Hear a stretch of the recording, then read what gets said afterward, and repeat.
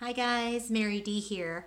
And um, I appreciate all the love and all of the well wishes for those of you that have been watching the uh, Facebook Lives that I've had with um, Dr. Marvin and that have showed up on my page as well on Facebook. And I've been getting a lot of questions because um, obviously I didn't make my um, diagnosis very public until very recently. And a lot of you are reaching out and asking. And so, in, in an effort to not have to repeat myself many, many times, I thought I would make a video. And then that way you guys can hear the story straight from me. And um, you know, I'll talk a little bit about um, the questions that have been asked, which are how did you find your lump? And what did you do uh, when you found out it was cancer? And how did you choose your diagnosis? Uh, or, or your path of, um, of what you chose to do. So I want to share all that with you here today, and I'll share it with you in little chunks to make this a little more digestible. But um, anyway, I am 40 years old. Yeah, I turned 40 years old in 2017. And so, in line with that, I went and had my well woman back in September. And then in October, I was reaching over to do a stretch. Um, and during that stretch, I went to like pull something off of my shirt and happened to feel that I had a little lump. And so I, I did a self breast exam.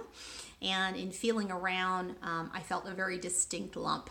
And people's first question to me is, How did you know? Like, how do you know a cancerous lump from uh, just a lump in general. Because breasts are lumpy let's be honest. Breasts are very lumpy and, and and that's how i felt in the past. So i'll tell you that in the past i've certainly felt like when i'm fishing around to do a, a self breast exam that breasts are lumpy and how will i know if it's just you know lumpy breasts or if it's actually some something that i should be aware of and I've kind of dismissed it, quite honestly, uh, until that day that I was leaning forward and actually felt very distinctly um, the the roundness of what was in my breast. So what I will tell you is, it was very obvious to me that it wasn't like any of the other lumps that were in or around my breasts.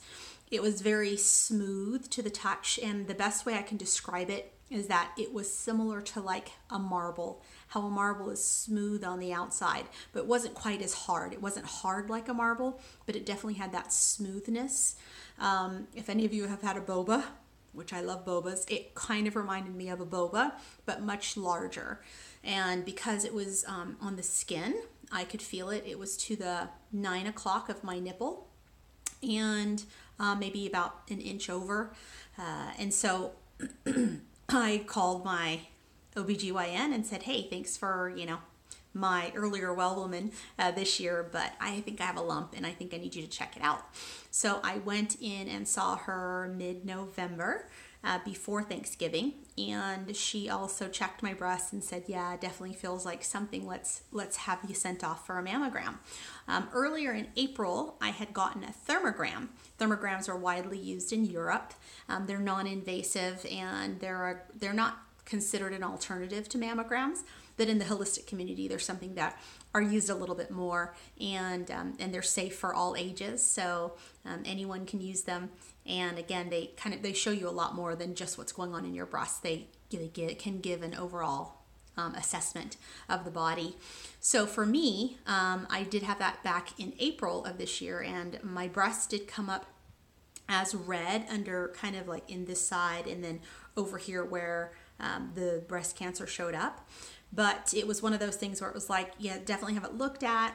But, uh, you know, nothing was bothering me. And at the time, I was wearing wire bras. And so I stopped wearing wire bras, thinking that the blood flow that we were seeing and the temperature offset might be caused from wire bras. But again, I have my well woman in September and then my checkup in November after I found that lump. So, anyway, I went ahead and uh, had my mammogram right after Thanksgiving, uh, right on the 28th of November. And during the mammogram, uh, it was interesting because I was a little conflicted because I knew mammograms give off um, radiation. Uh, they're not great for you. If you have cancer, you don't want to keep radiating you know any cancers in your body um, but i just dismissed it as you know it's a one-time thing i'm going to get checked out and, and i'll be done um, in addition to that they were doing an ultrasound as well so when they did the uh, initial mammogram what was interesting to me is they did um, check my first my right breast out first Then she did my left breast. And then she said, you know what? Let's go back and do the right breast one more time. She's like, I want to make sure that I got a good image. And that, for a moment, made me go, that's interesting that she would ask to do it again. And clearly, she sees something that um, is to her attention that makes her, you know, want to to go back and look at it again.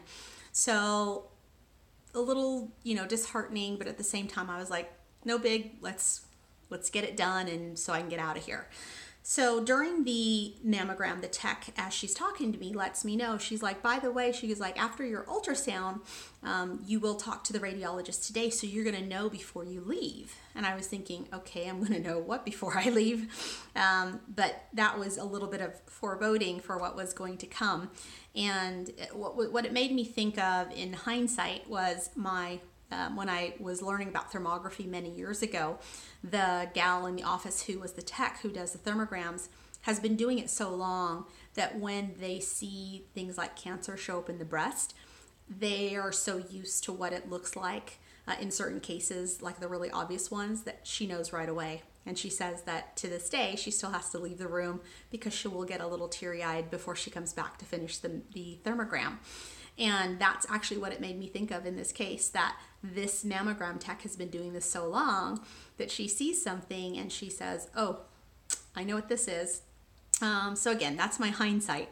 But at the time, I again just dismissed it, moved on to the ultrasound, and the the tech as she is um, working on only my right breast, which is fine because that was the one where the the questionable lump was she got very quiet and very serious. And so she wasn't chatty. Like I said, she was taking quite a few images. She was taking her time, and it was literally laying there that my little, like, you know, feelers went out and said, Something is definitely happening right now. I feel like everyone in this office knows what's going on except for me. And and that part ended up being being true. So the next thing you know, the radiologist comes in and he was very serious. And I'm sure he's done this, does this many times a day. So that's why his bedside manner is um, objective and non emotional. And he says to me, Yeah, let's take a look. And he puts up my, uh, you know, grabs the, the ultrasound machine and puts it over my breast where the lump is and says, Yeah, do you see this spot right here? And he's pointing it out. He says, This is um, this is looking this you know looks like cancer, and uh, we we don't know you know what kind or or what really uh, what else to tell you, but we'll need to biopsy it to take a look. And then he leaves the room, uh, and it happens that quickly. I believe it took him under a minute to to tell me to tell me that information. So as you can imagine, it's pretty. Uh, at that point, it's I'm processing because number one, I'm kind of shocked because before I went into that office, I thought, yeah, let's just get this checked out so we can get our our check mark of a bill of health and walk out of here. So I'm a little stunned, and they immediately take me out and um, and send me to the room next door, which is with Carmen. And Carmen is a lovely um, counselor type lady who is there to. She's definitely the woman that's there for I'm sure when people are hysterical or when they're crying or when they're trying to figure out what their emotions are, they talk to her because she's super understanding and sort of the first words out of her mouth are, I'm not even going to ask. She's like, I'm just going to schedule you for the very next appointment that we have. she's like, not what you thought you were coming here to hear today, was it? And uh, and like I said, she was she was very nurturing, but at the same time, for me, I have to process my feelings. I'm I'm not overly um, I don't jump to conclusions right away. I tend to want to have enough information to make a good decision or to to sort through my feelings. And at that point, um, was definitely you know teary eyed, but not um, not overly upset, just a little shocked. Like I said, that that's probably the best way to describe it. Is I was just in shock because number one, the first thing running through my mind was, how does he know that it's cancer? Number one, like how does he know? Like no one's really looked at it. What if it was I don't know, calcium in the breasts or um, a benign tumor. Like if it if it's clearly a tumor, how does he know whether it's cancerous or not? So those were kind of my rationales with myself in terms of of saying mm, that doesn't sound like that's a very positive thing to say to somebody when you're not really sure because how can he really be sure? So anyway a few days later i go in for a biopsy and they stick a needle into my breast and they biopsy a piece of um, the tumor out so that they can send it off for a sample to confirm exactly the size and the um, type that uh, of, of tumor that it is and at that time it was such an interesting experience because uh, I actually didn't feel the needle at all. They were like, click stick. And I'm like waiting. And I'm like, did you stick me yet? And they're like, yes, we're already in there. I'm like, okay. Uh, they also stick a marker in there. So it's a marker um, that basically is about the, the size of the uh, pinhead of, a, of, a, of a pen. And, uh, and they stick that in there so that it will show up on things like ultrasounds and mammograms uh, so that they can say this is the spot where you know we've already investigated. And so um, they leave a little titanium piece in there to um, to mark the spot. And uh, and the marker of course uh, is a little bit bigger than uh, a second marker that's a little bit larger so that when they do surgery which is interesting that they're already kind of on that path then they can easily locate it and know where to go so that there's no question so again these are I'm being moved right along. It's kind of an interesting, you know, um, journey. Um, at that point, I had had no discharge from my nipple, and they kept asking me that. They're like, "Hey, have you had discharge from your nipple?" And I'm like, "No." I mean, honestly, if I'd never felt this bump and come in, I wouldn't know that this was anything. And so they went ahead and uh, uh, after they did the the biopsy, of course, there's there's you know blood and so they put a lot of pressure to make sure that uh, the blood stopped. Um, but what was weird to me is when I sat up, blood actually started coming out of my nipple, uh, which had never happened before. So it was just kind of this awkward moment of like, well, you guys have been asking me if I've had any nipple discharge, and I haven't until you did this biopsy. So at that point, you know, I was reading enough uh, stuff on the internet about different breast cancers to realize that it must be in my ducts. Whatever it is, it's inside the, the ducts of the breast, like where the milk would come if you had a baby uh, or if your breasts were or if you were lactating. And so sure enough the doctor just confirmed that. He says oh yeah it's because you know obviously we were you know taking the biopsy so the blood is just making its way out the most natural way that it can. And um, what sort of freaked me out is that my um, the upper so the the tumor is to the nine o'clock of my nipple. So if you imagine that you know this is the nipple and the tumor is here on this opposite side here, it actually started to sink. My nipple sunk in a little bit, and I was like, "Whoa, what is happening? Like my nipple's all deformed. My boob is starting to be deformed." But it only lasted like a few seconds, and then it went back to normal, and I found that to be really kind of awkward too. Um, so it was a very odd experience. But what I want to tell you is from the time that I left the doctor's office for the mammogram, from the mammogram and ultrasound when they told me I had cancer, to the days that I had to wait to have the biopsy, those were really tough uh, because, again, in my mind, I don't have enough information other than, oh, by the way, you have cancer. And there's things that run through your mind. You wonder, okay, well, what kind do I have and like what stage is it? Because that's kind of important to know. Um, I had a brother in law that passed away from gastric cancer and he was stage four and that's a lot different than someone who was sta- say a stage one.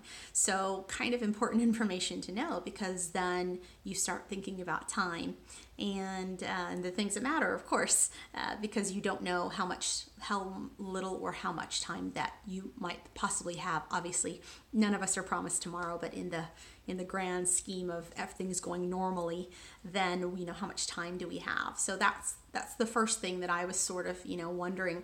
But I tried not to dwell on things too much uh, because again I didn't have enough information, and I said let's just keep moving along here until we can get enough information. So after that. Um, I ha- had to wait for the biopsy results, and that took some time. So I had that biopsy on December the 1st, and then by December the 6th, I was literally in the car on my way to the airport. And my husband was driving, my niece was in the back.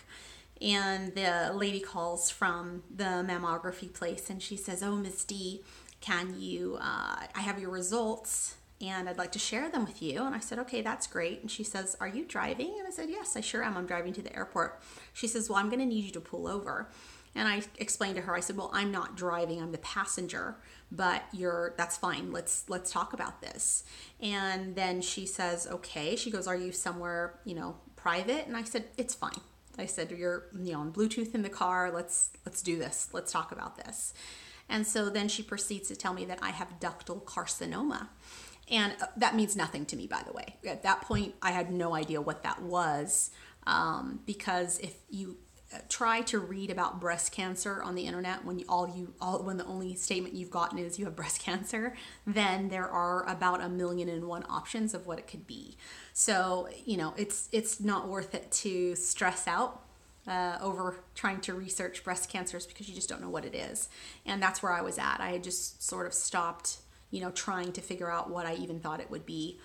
Um, so anyway she tells me i have ductal, ductal carcinoma. I immediately google it so that I can see what it is. And I said to her, okay, well, can you tell me, like, is there a number associated with it? Is there a stage associated with it? Can you tell me more about it? And she says, oh, I'm sorry, I don't have that information. She's like, but we would like to schedule you with a specialist. And the specialist will tell you all about it and she'll be able to tell you that information.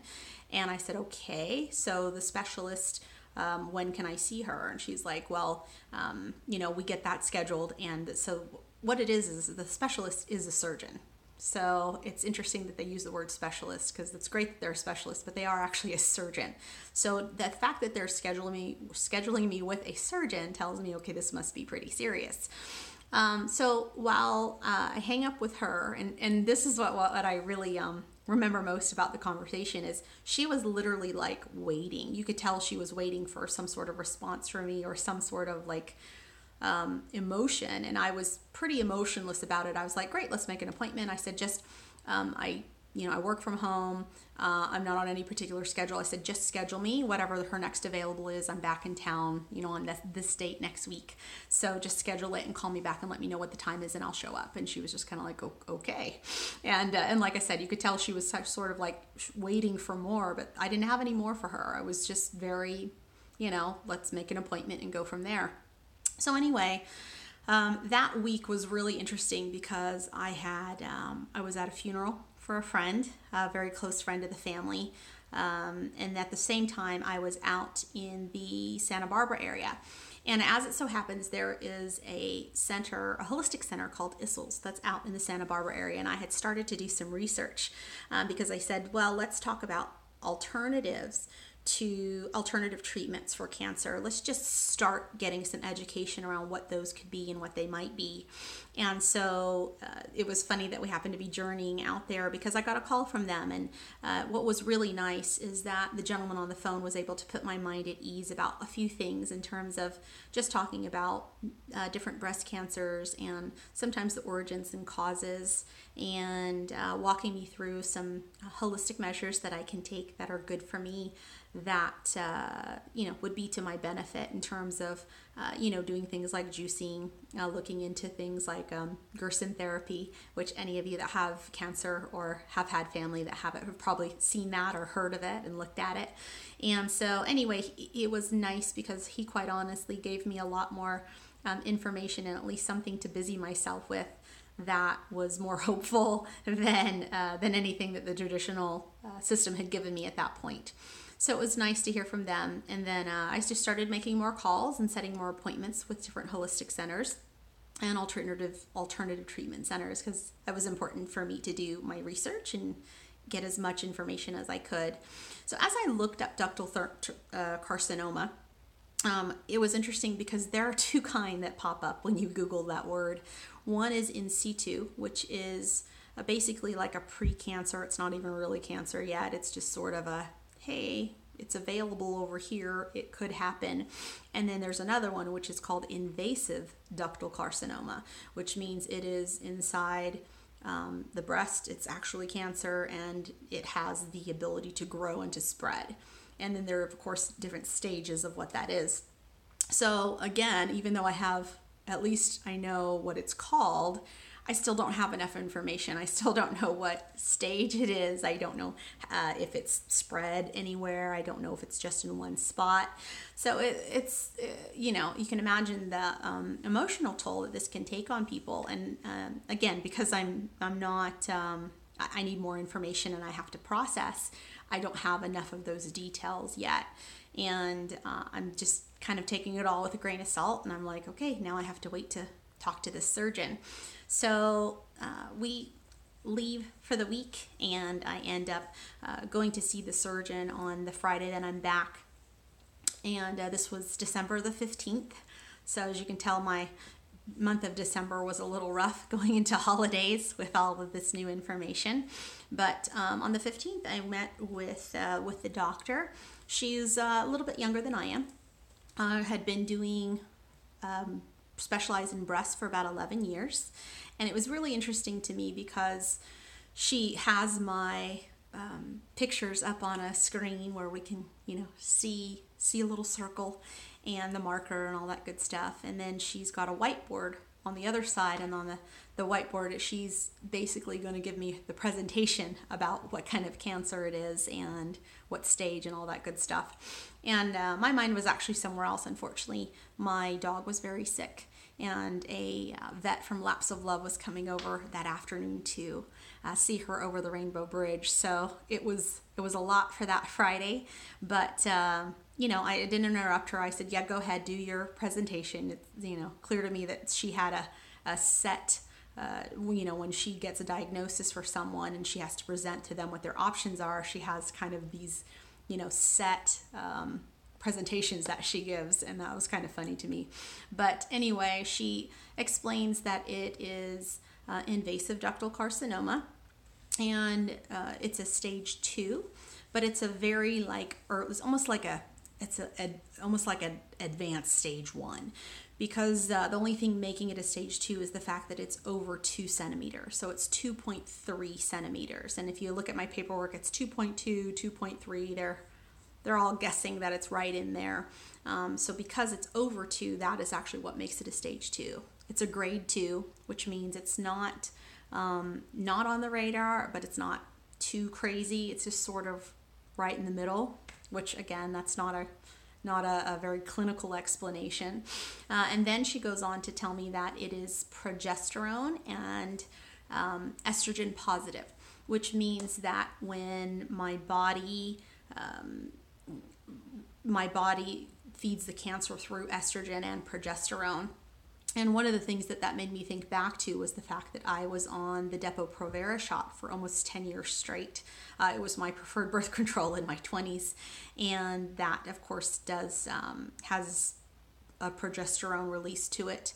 Um, that obviously you know plays with your hormones a little bit so it made me wonder if that might have been a factor um, one of the other factors that they uh, presented to me as uh, a high risk in this area is the fact that I haven't had any children. And uh, I haven't, honestly, I haven't even ever been pregnant. So, not having been pregnant and not having children was kind of another factor that played into that. And then there was a question mark on whether it was in my genetics. My grandfather had prostate cancer, my dad had prostate cancer. Um, they both passed from those diseases. Uh, my father did not bear any sons, and so it's hard to know if, um, as that third generation, uh, since I am a female, if it ended up showing up as breast cancer, because no one on either side that I'm aware of has had breast cancer in my family. So um, they sent me off for genetics testing as well. And uh, although reassuring me that that was very, very unlikely that I would come back as positive um, for having it the um, having it in my my genetic history genetic profile i guess. But the the next step that we took is the uh, as she's explaining which kind of breast cancer it is and how it works she's explaining to me my options. And basically i have three options. And the options are i can have a lumpectomy which means they will just take out um, they take out the cancer and they take out a area around the cancer of good tissue also to make sure that they've cleaned it all up. They also sample your lymph nodes to make sure that it hasn't gotten um, past the breast into any other areas. And then that would be followed by six weeks of radiation. And radiation would entail me going to uh, the doctor's office every day, six days a week, for six weeks, uh, for about 10 minutes, so they can basically spot radiate that area, which can lead to um, like a sun, almost like a sunburn on the breast. Um, it has a tendency to ruin the skin, and so it makes uh, any other operations on that breast, um, especially if it comes to anything cosmetic, very difficult. So that was the first option. Second option was a mastectomy, which would mean they take out all of the breast tissue in this right breast and I could proceed to get an implant or just wear a, a prosthesis in a in a bra. Um, and so that bore the question for me of, well, you know, what if I wanted to um, go ahead and get a lift in, you know, to make things sort of match up? And she says, oh, she goes, that's a good question. You'll have to talk to plastics. That's what they call the plastic surgeon. You talk plastics. And I said, okay. So she um, made me a referral to talk to a plastic surgeon. Um, and I'm glad I actually asked that question because had I not asked it, I'm wondering if we would have ever gotten there. But anyway, the third choice was a bilateral mastectomy, which means getting rid of both um, breasts. And there's a, you know, they give you statistics. The problem with statistics uh, is that they're not very specific. As someone who has been um, an online marketer for a, for a while now, it's my brain starts to go to very specific pinpoints and behaviors. So when they tell me specifics, like when they say, "Oh, a lumpectomy and a mastectomy have similar, um, you know, percentiles of recurrence," then I go, "Okay, uh, or when they say you have a particular um, uh, chance of, of living 10 more years that's a really vague statistic for me. Like that's that's not a that's not an answer. Because the questions i start to have are are these women my age? Are these stage one breast cancer stage two stage three stage four? Are you lumping them all together? Um, are these Asian American women? Are these women who are progesterone and estrogen positive, um, the same that I am? Uh, you know, I start really trying to break down these statistics that they're giving me. And the, the one that was most important to me was quality of life. So, are you telling me that these people survived 10 more years because they were, you know, suffering with chemotherapy and laid in bed for 10 for the next 10 years or are these people who are healthy and whole and outliving their life um, for at least another 10 years. Um, these are the questions that the doctor couldn't answer for me and it's it's really disturbing to me to think that as long as this disease has been around and um, all cancers for that matter that they wouldn't have more specific uh, even even whether it's to the age of the person or certain markers. And I, I, get that cancer is different for everyone, but at the same time, there are some similarities. And there are things that we can, you know, break down demographics just like we do in marketing when we're looking for target mark for a target market um, for our customers or for our products. So this was was a little bit disturbing to me in the in the way that I'm thinking to myself, surely someone is keeping track of this. And so where is this person and and and uh, can I see those statistics or do they not share those statistics because they don't make the numbers look as good? Uh, which leads me to the next question, which is Does this make more doctors funnel women who are stage one and stage through through these um, through the system? And make them more, uh, you know, call out these cancers as being more aggressive than maybe they are in an effort to, uh, in, in knowing maybe that, you know, stage one and stage two have longer longer lifespans and so they want to put more of those into the, the kitty so that it ups the stats.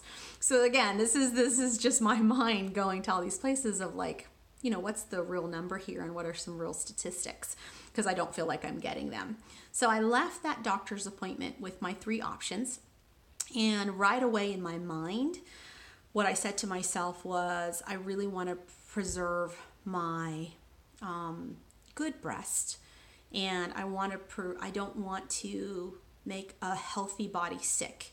And some of you are like, Mary, you have cancer. How are your how is your body healthy? Well, what I'll tell you is that up until this point in my entire life, I have no history or um, issues with disease or immune issues or I mean I barely get sick. I don't even have a primary care physician. I, at least I didn't until this last month. And so those are that's why I say that because I don't feel sick. Um, I wasn't feeling you know bad. Um, I wasn't someone like you see on TV that has cancer. My hair wasn't falling out. Like I don't didn't have any of those things. If I hadn't found this lump and gone and got it checked out, and they hadn't told me that it was cancerous, I, right now I would be, you know, doing what I normally do and just not thinking twice about that part of uh, that part of it of cancer. So anyway, um, I left there, and that was that was my initial feeling. But at the same time, my next feeling was okay, so I'm going to do a lumpectomy, but I'm not interested in radiation or chemotherapy therapy at all, just because I know they're toxic to the body. And again, I don't want to take a healthy, everything else that's healthy and make it sick just to fix one one thing. Um, my loved one's reaction was hit it with everything you can. so it's interesting to um, go through that process as well and seeing what your family and friends. Uh, their initial reaction versus sometimes what yours might be. And in my case, uh, it was a little opposite. And again, I felt like I needed to get more information.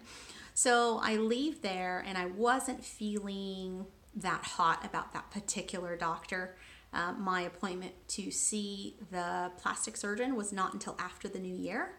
So, from the 15th of December all the way through the holidays and the new year, um, I made a lot of phone calls and talked to a lot of doctors, um, mostly in the holistic realm, a lot of them in Mexico. Uh, did a lot of reading and did a lot of soul searching. And through that process, one thing that became really, really apparent to me